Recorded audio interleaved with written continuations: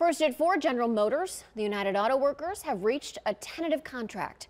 Workers have been on the picket line for almost seven weeks now. 19's Brittany Weir live in Parma with what this could mean, Brittany, for those ready to get back to work. Yeah, this new tentative agreement, it is the next big step in the auto workers strike. Now, auto workers from Ford, Stellantis, and General Motors, they've been on those picket lines for about six weeks. Ford reached an agreement last week, followed by Stellantis on Saturday, and now this new tentative agreement could bring General Motors employees back to work.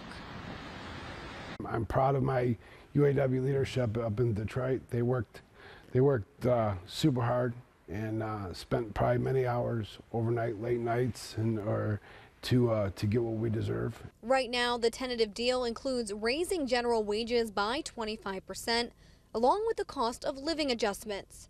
Workers would also get an 11 percent pay raise upon ratification.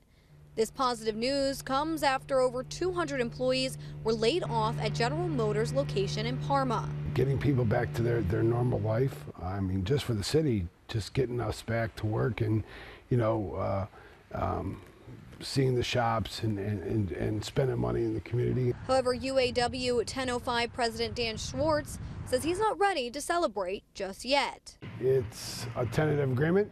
Uh, we're waiting to, to, see the specifics, the black and white, uh, and uh, take it to the membership.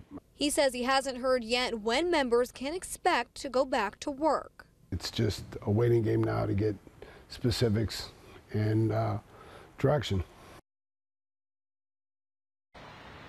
Now, this agreement, it still needs to be ratified, but with the holidays quickly approaching, Schwartz says he wouldn't mind seeing an end to this strike. In Parma, Brittany Weir, 19 News.